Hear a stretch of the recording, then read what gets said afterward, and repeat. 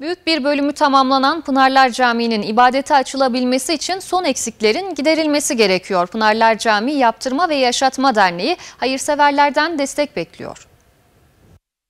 Elazığ'da 2019 yılında yapımına başlanan Pınarlar Camii'nin yapımında sona gelindi. Büyük bir bölümünün tamamlandığı ve Ramazan ayında ibadete açılması planlanan camide yapılacak son çalışmalar için hayırseverlerden yardım bekleniyor. Pınarlar Camii Yaptırma ve Yaşatma Derneği Başkanı Cengiz Güneş camide yapılan çalışmaları dile getirirken artık güçlerinin kalmadığını destek beklediklerini söyledi. Demişler ya güç kuvvete bağlı. Gerçekten biz artık güç olarak tükendik.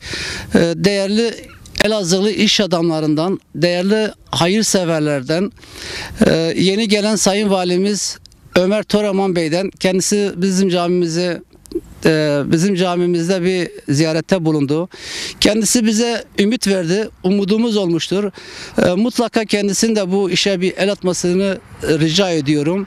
E, Değerli hocamız Elazığ Müftüsü Sayın Selami Bey'e buradan kendisine hürmetlerimi ve ellerinden öptüğümü söylüyorum. Güneş hayırseverlerin duyarlı olmasını istedi. Camimiz büyük bölümü bitmiş bulunmakta. Ee, ufak tefek şeyleri kaldı yani eksiklerimiz var. İşte caminin alt halısı var, doğal gaz sistemi var, çevre düzenlemesi var. Ee, iki tane minaremizden bir tanesini bir hayır sahibi yaptı, bir tane eks- bir tane eksiğimiz var. Bundan dolayı e, bütün hayırseverleri duyarlı olmaya çağırıyorum.